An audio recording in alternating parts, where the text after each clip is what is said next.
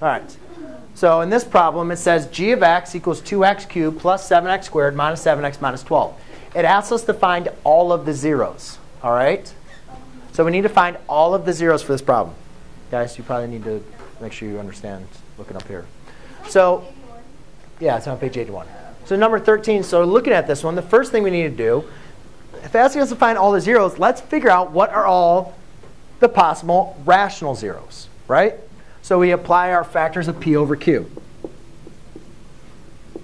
Equals plus or minus 12, 6, 4, 3, 2, 1 over plus or minus all the values of 2 and 1. So there's a lot of possible rational zeros, right? A lot of them.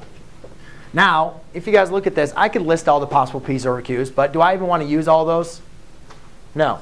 The best, p, the best rational zero, I know that 1 over 1 or 2 over 2, that's going to produce a rational zero of 1, right? So you always want to start at at least 1 and see if that's a rational zero. If 1 doesn't work, then try negative 1. So let's do 1, because I know that's at least a rational zero. there's a lot of other rational zeros that if we need to, we'll try them. So let's do 1. So I have 2, 7, negative 7, and negative 12.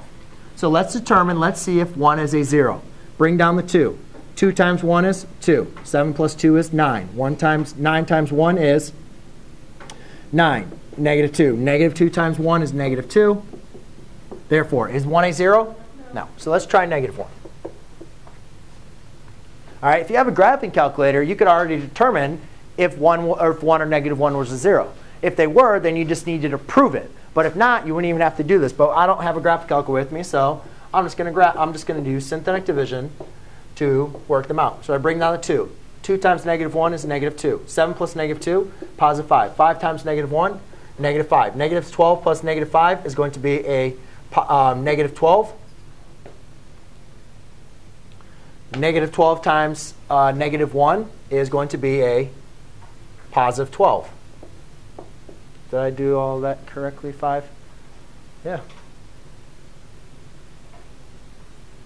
So 1 does not work, right? Although it looked like 1 on the graph was a 1, wasn't it? Didn't 1 look like 1? No, 1 was a 1. It looked like negative 1, 1, 1 was, though. Let me just double check here.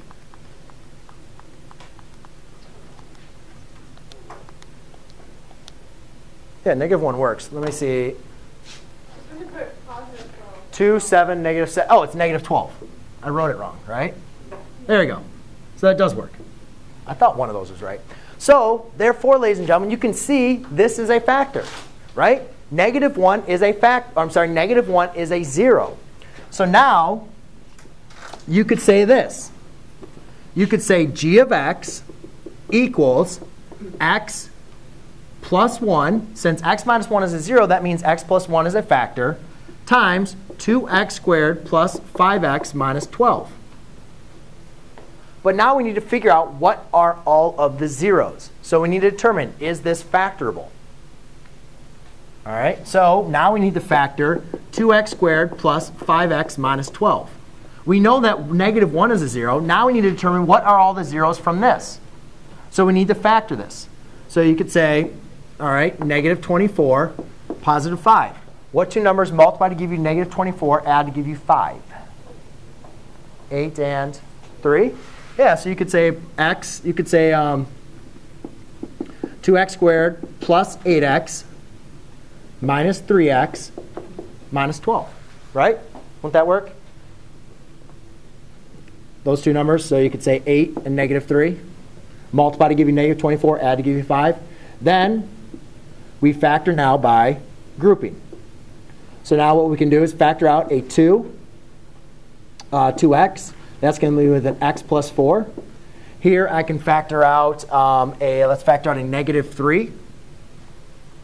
So when I factor out a negative 3, I'm going to leave what be left with a x plus 4.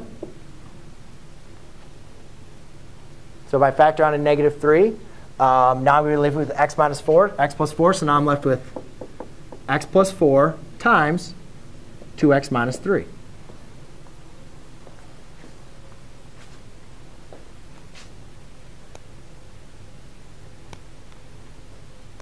then we can now go ahead and solve by looking at this graph. Um, doesn't seem like, oh, x equals negative 4. And so now solving this, so now I said this factored out, and then I could say my other factor is x plus 1. So do you guys see how this times this times this is now going to give you g of x? No? Yes? So do you guys see what I did? I found one rational zero, which was negative 1. I factored it to get to this. If you couldn't factor it, you'd have to use the quadratic formula like we did in the last problem. I can factor it. So I factored it down to this. Now that we have all the factors, can we find all the zeros? Yes. Now you set this equal to 0, and you say x plus 1 times x plus 4 times 2x minus 3. So therefore, you could say x plus 1 equals 0, x plus 4 equals 0, and 2x minus 3 equals 0. Therefore, x equals negative 1, x equals negative 4, and x equals 3 halves. So when you look in your calculator, you can see there's three zeros. And guess what? Are all these rational zeros in our test? Yeah, you could have had negative 4 over 1. And you also could have done a 3 over 2. So these are all rational, possible rational zeros. But all we did was we just used, utilized our easiest ones that we worked on Japonica, and then we solved for this. Okay? Guys, mathematics is very difficult in its own. If you're not paying attention,